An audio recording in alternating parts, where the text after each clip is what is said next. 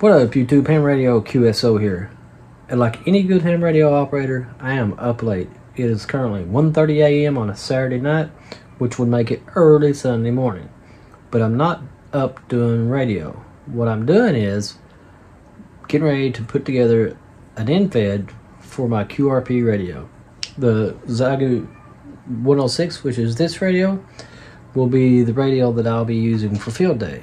And I've got other end-fed antennas but they're made out of bigger components and I'm choosing components slightly different for this for this end-fed mainly for testing and because uh, I like to build end-feds but anyway uh, the cores that I used to use are the FT24043s they're a big old core. I've got one back here but I've got it as a choke right now. So but I went with this one. This is a smaller one. It is a FT 140 43 or or 170 I'll put it in the description here what it is. So I'm going to use this. Now I've looked at this core on paper and on paper it's it's really really good.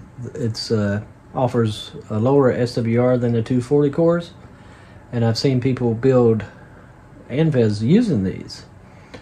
But I've not seen an end-fed built using these that the antenna was used for QRP. So it takes some really small magnet wire. You might be able to see how small that is. This is 28 gauge, really small stuff. Apparently it can hold up to 10 watts. So we're getting ready to find out. But what I'm going to do is, when you build end-feds, you always have your primary turns and your secondary the primary are two wires together. Now, I watched a video where a guy used a, a smaller a smaller core than this one. It was a 50, I think, or something like a 150 uh, or something, I don't know. But he used a smaller smaller core, and he went three turns on the primary and 18 for the secondary. And uh, it worked out really well. He had great performance with it. Uh, QRP uh, contacts all over the country. But I upgraded to well, I didn't. I can't say upgraded. I switched to this core because it looked really good on paper. But what I'm putting it in is these 3D boxes, 3D printed boxes. This is a printed out of PETG material, super tough I put the holes in I used Tinkercad to uh, modify this box just a little bit.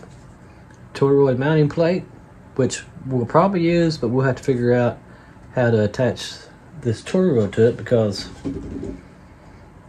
you can see it is much smaller. Uh, should be able to get some zip ties around it regardless, but we'll, we'll make sure it's secure.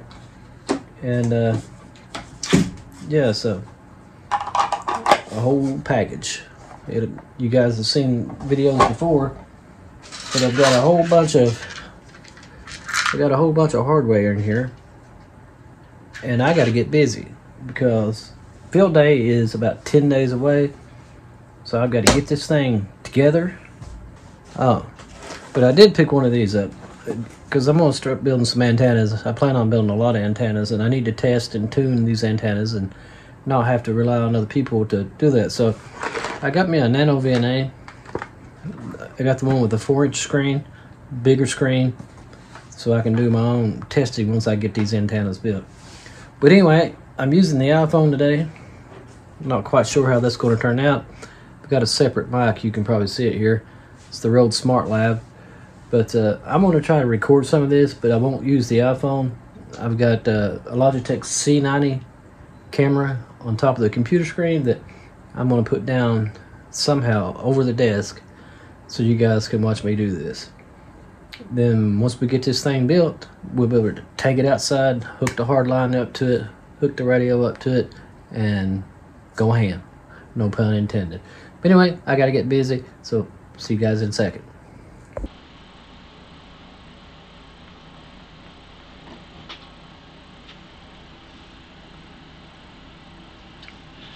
Okay, so in the video I watched, a guy bought a kit and it calls for three primary turns. Didn't say anything about twisting the wire together. Directions didn't say it, so he didn't do it. So I'm not going to do it.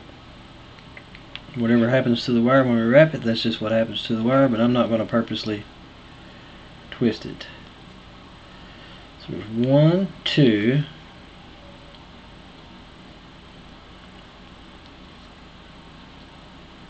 three. Right? Three turns. Looks good. We don't have any weird twists going on. So now we gotta wrap 18 more turns around this dude. And once we get it all wrapped, we can straighten everything out. So I'm gonna get to turn wrapping. Three. Wait. Three turns. Looks good. We don't have any weird twists going on. So now we gotta wrap 18 more turns around this dude. And once we get it all wrapped, we can straighten everything out. So I'm gonna get to turn wrapping.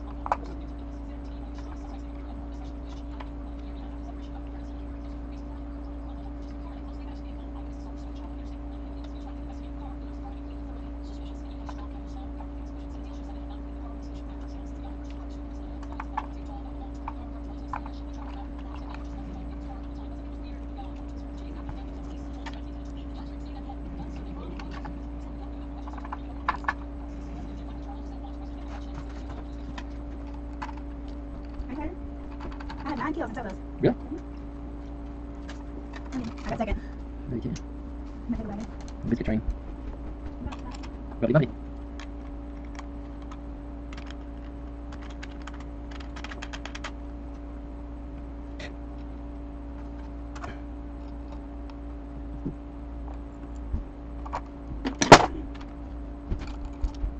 What we didn't get earlier? Flip it. Yep. There was a thing. I had mine, I? I forgot. I had it in mine, I forgot it.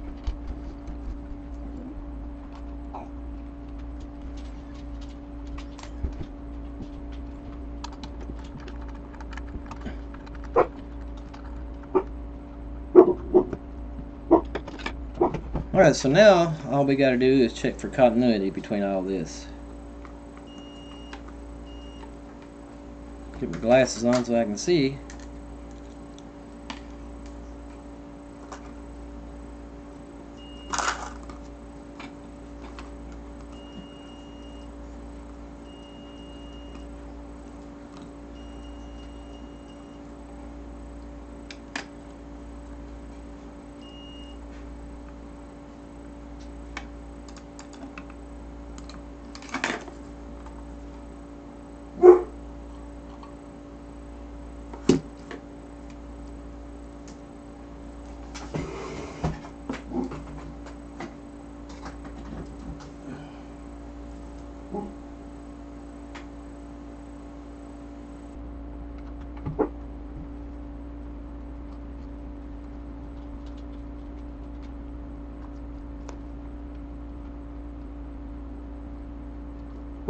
Mm-hmm.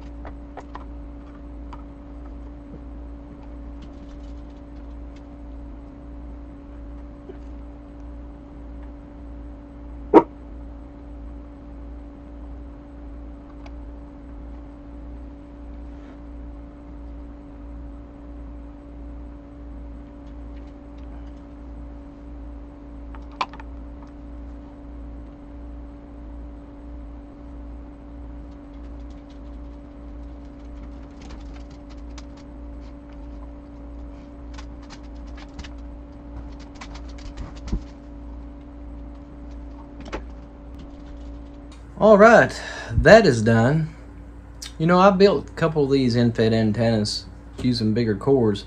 First time I used a small core, but we got it done. That's what it looks like. Get you a better look at it there. I'm not the best solder person in the world, but it'll do. I've got to get some uh, nuts for these bolts. These little screws here. He didn't give me the nuts. If he did, I don't have them. I don't know where they're at. So I'm gonna temporarily use these black ones you see here. They're a little bit long. I'm gonna put another one in this corner to hold it until I get back to the hardware store and get the nuts for those. But all in all, it turned out pretty good. It uh, it works. Uh, checked it with a continuity meter, and we've got continuity, which is we should have. Basically, you're creating a short when you test it with a continuity meter, but when it comes to RF, hey, it just works. But uh, now I got to find some wire for this. I don't want to use a big wire for it. I want to use a smaller wire because that's what it's designed for. It's smaller stuff, low wattage. Big wire I feel would just uh, be an impedance or whatever. Might not be, might not make a difference, but who knows. But anyway, I'm out of here. I'm to put all this video together and let you guys check it out. So with that, Ham Radio QSO, hope to catch you on there. Peace.